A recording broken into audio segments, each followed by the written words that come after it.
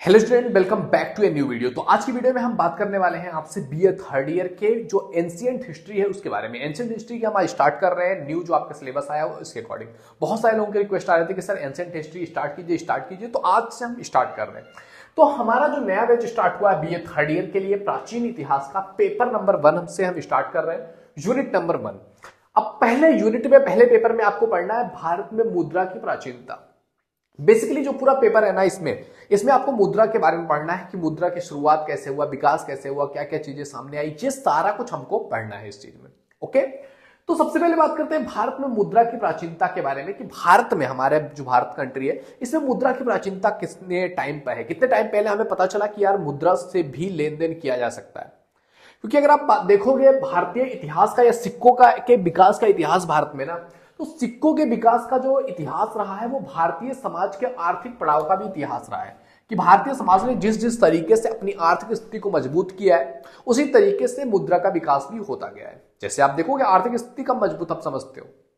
सब आपके पास अर्थ ज़्यादा हो, सिक्के ज़्यादा हो, पैसे ज़्यादा हो तो जब भारतीय समाज में आर्थिक पड़ाव का इतिहास जैसे जैसे रहा, वैसे ही सिक्कों का इतिहास भी रहा है। अब भारतीय समाज में जो सबसे प्राचीन टाइम था, जिसको आप इतिहास से हटा सकते हो, जिसको प्रागैतिहासिक काल कहते हैं तो प्रागैतिहासिक काल में क्या होता था कि बहुत ज़्यादा क्रिटिकल किसी की लाइफ स्टाइल थी नहीं। बहुत सीमित सा लाइफ स्टाइल था।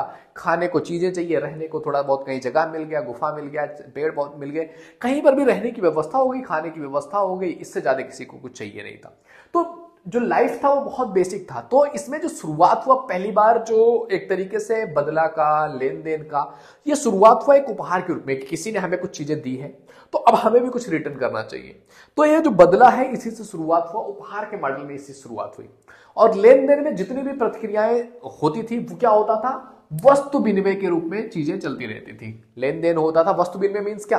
कि आपने एक वस्तु दिया हमें और हमने आपको एक वस्तु वापस कर दिया। तो वस्तु लिया, वस्तु दिया तो ये एक विनिमय का पूरी तरह से कॉन्ट्रैक्ट चलता रहता था। तो शुरुआत में प्रागैतिहासिक काल में यही सारी चीज़ें चली। इसके बाद धीरे धीरे क्या हुआ? आर्थिक सामाजिक विकास जब होना स्टार्ट हुआ, लोगों का आर्थिक विकास हुआ, सामाजिक विकास हुआ, उस चीज़ के साथ जो है विकास के फलस्वरूप क्या हुआ? कठिनाइयाँ धीरे धीरे आनी समाज में स्टार्ट हो गई। अब वो कौन कौन सी कठिनाइयाँ आई? मुख्य समस्याएँ क्या देखने को मिली? तो मुख्य रूप से समस्याएँ देखने को मिली नापतौल में। कि भाई हम एक इतना बड़ा सामान लेके आ रहे हैं और कोई इंसान हमको इतना बड़ा सामान वापस कर रहा है। अच्छा हमने इतना बड़ा सामान लेके आए, कोई सामान जो इंपॉर्टेंट था, और उसने हमको इतना वापस किया। तो ये जो नाप तोल है ना, ये भी बड़ी भूमिका निभाती थी। मान लिया किसी के चीज़ है जिसमें वज़न ज़्यादा है तो वो छोटा दिखेगा, और किसी ने बड़ा चीज़ दे दिया उसकी जगह पे तो वो समझेगा, मैंने बहुत ज़्यादा दे दिया, जबकि उसकी वैल्यू उसके बराबर नहीं है। तो नाप तोल हो गया, सापेक्षिक मूल्य का निर्धारण बहुत इंपॉर्टेंट हो गया कि आपकी जो चीज़ है, जो वस्तु है, उसकी इंपॉर्टेंस कितनी है। जैसे कि आप देखोगे, इतने बड़े सोने की इंपॉर्टेंस जो है, इतने बड़े चांदी से ज़्यादा होती है। समझ रहे हो? या इतने बड़ा लोहा कोई लेके आओगे, इतना सा सोना लेके आओगे, दोनों की बराबरी हो जाएगी। तो जो सापेक्षिक मूल्य है, उसका निर्धारण का कोई कॉन्सेप्ट नहीं रहा। तो ये सारी दिक्कतें समाज में आनी स्टार्ट हो गई। तो इसके फलस्वरूप क्या हुआ? इस जटिलता के कारण क्या हुआ? जो है, ये सारी चीज़ें जो समाज में चल रही थी, वस्तु के द्वारा लेन देन वाला सिस्टम ये कहीं ना कहीं अव्यवहारिक लगने लगा। लोगों को बहुत प्रॉब्लम झेलनी पड़ने लगी, यार ये क्या हो रहा है?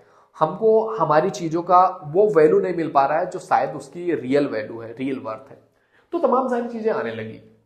फिर क्या हुआ? जो पूर्व प्राषाढ़ काल था या मध्य पाषाढ़ काल था, ये टाइम पीरियड कैसा टाइम पीरियड था? तो इस टाइम पीरियड में जो लोगों का जीवन था, ये अभी तक कॉम्प्लिकेटेड नहीं हुआ था कि बहुत ज़्यादा कॉम्प्लिकेटेड हो गया हो। तो लोगों का जीवन क्या था? आखेट पर चलता था और अन्न संग्रह पर चलता था। यानी कि शिकार करते थे ला करके अपने पास रखते थे और उसी को खाते थे कुछ दिन। मतलब अन्न लेके आते थे, संग्रह करते थे। अन्न मीन्स क्या? जो शिकार करते थे, आखेट करते थे, जो लेके आते थे, वही अन्न था। तो अन्न जो था, उसको संग्रह करते थे, आखेट करते थे तो यही इनका काम था। और इसमें ये उस टाइम पे लेन देन किस चीज़ का होता था? तो उस टाइम पर लेन देन होता था, उपयोगी पत्थरों का आदान प्रदान होता था। उपयोगी पत्थर मीन्स जैसे कि आखेट करना है, शिकार करना है तो कुछ भाला बनाने के लिए फावड़ा बनाने के लिए अलग अलग चीज़ों के लिए कुछ जो है पत्थरों की ज़रूरत पड़ती थी। मान लिया किसी के पा, के पास भाला बनाने का पत्थर है किसी के पास कुदाल बनाने का पत्थर है किसी के पास जो है हल बनाने का पत्थर है। तो अलग अलग जो पत्थर थे उनका क्या होता था एक दूसरे से क्या करते थे वो आदान प्रदान किया जाता था। तो पूर्व पाषाढ़ काल में और मध्य पाषाढ़ काल में यही सारी चीज़ें चलती रही। तो इस टाइम पीरियड पर भी सिक्कों का कोई काम नहीं आया यानी कि मुद्रा का कोई काम नहीं लगा। फिर धीरे धीरे क्या हुआ, जब नव पाषाढ़ काल की स्थिति आई हमारे समाज में तो इसमें कई सारी चीज़ें आ गई। नव पाषाढ़ काल में शुरुआत में क्या था, आखेट और जो भी लाते थे, वही सब बैठ के कुछ दिन तक खाते थे, जब तक वो चीज़ रहती थी, फिर शिकार करते थे, फिर खाते थे। लेकिन जब नवपाषाण काल आया तो इसमें कई सारी चीज़ें इन्वॉल्व हुई। नवपाषाण काल में लोहे की खोज हो गई, कृषि स्टार्ट हो गया, बहुत सारी चीज़ें हुई। तो जिससे नवपाषाण काल में ऑप्शंस क्या हो गए? आखेट भी था अन्न संग्रह भी था पशुपालन भी होना स्टार्ट हो गया, अन्न उत्पादन कृषि भी स्टार्ट हो गया। तो बहुत सारी चीज़ें सामने आ गई। अभी तक क्या था? थोड़ी बहुत चीज़ें थी लेन देन करने के लिए। अब लेन देन के लिए उपकरणों की संख्या बढ़ गई। अब लेन देन में उपकरणों में पत्थर भी आ गए, अंग संग्रह करने वाले आ गए, जानवर भी आ गए लेन देन के श्रेणी में। अन्न भी आ गया कि एक अन्न आपने उगाया, एक अन्न उसने उगाया, आप एक दूसरे से लेन देन कर रहे हो।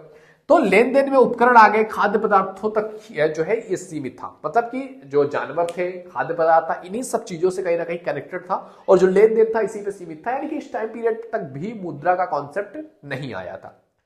फिर इसके बाद बात किया जाता है 2600 ईसा पूर्व से लेकर के 1600 ईसा पूर्व के बीच की। ये बहुत ट्रांसफॉर्मिंग टाइम पीरियड रहा 2600 से 1600 ईसा पूर्व तक। इस टाइम पे सोना चांदी, तांबा और बहुमूल्य धातुएँ संख ये सारी चीज़ों का इजाद हो चुका था। ये सारी चीज़ें लोगों के सामने आ चुकी थी और लोगों को पता था, यार, ये ये इंपॉर्टेंट चीज़ है। ये महत्वपूर्ण चीज़ है। अब इसमें मान लिया किसी के पास सोना है और किसी के पास तांबा है, कैसे जो है एक दूसरे से ट्रांसफ़र करेंगे कितना उसने सोना दिया इसमें उसने तांबा दे दिया या इतना चांदी दे दिया? कैसे ये चीज़ें कॉन्सेप्ट अच्छे तरीके से, व्यवहारिक रूप से काम कर पाएगा?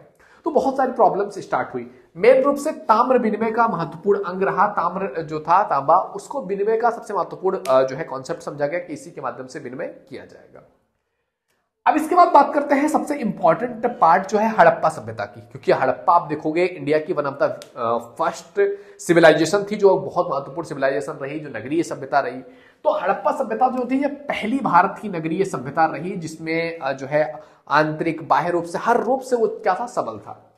मुद्रा के चलन का प्रमाण फिर भी वहाँ पर देखने को नहीं मिलता है। आप इतिहास उठा करके देखोगे, हड़प्पा संस्कृति का, मुद्रा का चलन उसमें आपको देखने को नहीं मिलेगा। कि कहीं पर पैसों से कुछ चीज़ें लेन देन किया गया हो। क्योंकि तो वहाँ पर आप देखोगे, जो राजस्व भी वसूला जाता था, जो राजा वसूलता था लोगों से, वो जो चीज़ें होती थी, वो भी खाद्यान्न के रूप में आते थे राजस्व। तो राजस्व खाद्यान्न के रूप में आते थे बड़े बड़े संग्रह ग्रहों में रखे जाते थे। इसका मतलब कि पैसे का कॉन्सेप्ट नहीं था अदरवाइज़ पैसे ही ले लिया जाता। क्यों जाकर के इतना सारा सामान ला के भरते सब? नापतोल के प्रमाण देखने को मिलते हैं और अच्छा खासा नापतोल का प्रमाण जो है इस टाइम पीरियड में हड़प्पा सभ्यता में स्टार्ट हो चुका था। ओके इसके बाद स्टार्ट होता है आपका ऋग्वैदिक समाज। ऋग्वैदिक समाज में सबसे महत्वपूर्ण जो चीज़ रही है, वो है पशुपालन का महत्व। पशुपालन का बहुत महत्व रहा है और पशुओं में भी गाय का पालन का बहुत महत्व रहा है। गाय पालन पे बहुत ज़्यादा फोकस किया गया है और एक लंबे समय तक आप ऋग्वैदिक इतिहास उठा करके देखोगे कि जो समाज रहा है इसने एक लंबे समय तक गाय विनिमय का बहुत महत्वपूर्ण अंग बना करके रखा था। गाय गाय जो थी, काऊ को, उसने क्या किया था? विनिमय का एक बहुत महत्वपूर्ण अंग मतलब कोई सामान आपने हमें दिया, हमने आपको गाय दे दिया। क्योंकि लोगों के पास पशु ज़्यादा होते थे तो एक पशु कोई दूसरे इंसान को दे देते थे। मतलब विनिमय के तौर पर बहुत लंबे समय तक गाय का उपयोग किया जाता था। अब ऋग्वेद में चार जगहों पर एक शब्द बहुत ज़्यादा उपयोग हुआ है, चार जगहों पर उपयोग हुआ है, जिसको लेकर के बहुत ज़्यादा कॉन्ट्रोडिक्टरी है। कई सारे विद्वान मानते हैं, कई सारे विद्वान उसके अपोजिट रखते हैं अपना माइंडसेट तो ऋग्वेद में एक शब्द आया है निष्क इस शब्द को चार स्थानों पर ऋग्वेद में प्रयोग किया गया है। अब ये जो रिस्क शब्द है सॉरी निस्क शब्द है, इस निस्क शब्द को लेकर के जो है ई थॉमस हो गए, डी आर भंडाकर हो गए, एस सी दास हो गए, ए एस अल्तेकर हो गए इन सभी ने क्या कहा है कि इन्होंने जो ये ऋग्वेदिक निस्क है ना, इसको मुद्रा माना है। ये जो निस्क है ना, यही है वो मुद्रा। और इस तरीके से अगर माना जाए तो पहली बार भारतीय समाज में मुद्रा का कॉन्सेप्ट यहाँ पर देखने को मिलता है। इन विद्वानों के माध्यम से तो यही पता चलता है कि पहली बार भारत में मुद्रा का कॉन्सेप्ट कहाँ पर ऋग्वैदिक समाज में देखने को मिला था।